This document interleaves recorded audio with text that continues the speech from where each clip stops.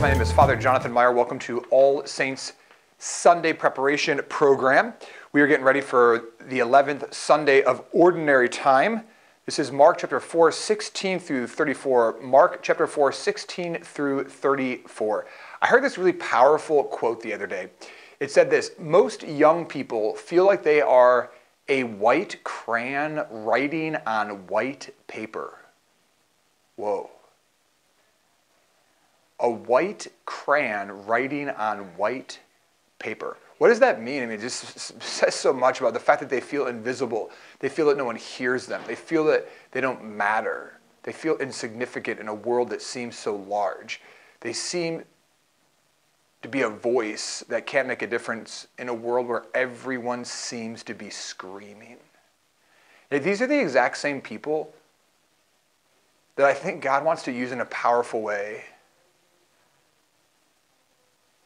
These are mustard seeds.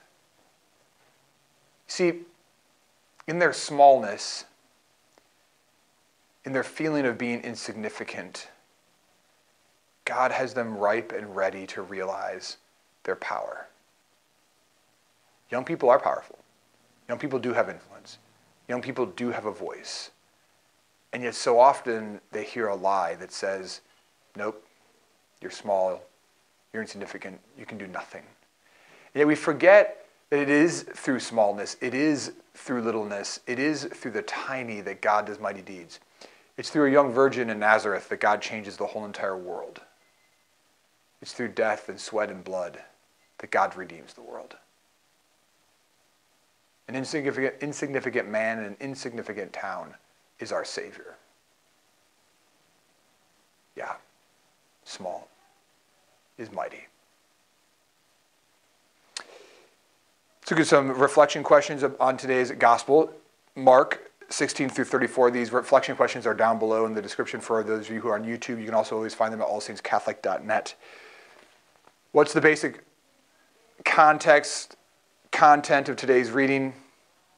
What's the good news? How is it good news? Uh, what verse or passage stuck out to you? What does a seed represent? What does a seed represent in Christianity? Have you ever seen a mustard seed? What does it look like? How big is it? What does this analogy mean to you? Have you ever in your life felt small or insignificant or tiny? How do you know? Who do you know that has great faith? Who do you know that supports others and brings others to faith? What's one way you can act on this passage? Thanks for joining us for ALIVE. Do so every single week. Spread the word. Share this video with others. Let's go make a difference. Let's be saints and allow your faith, which might seem small, to change the world. Amen.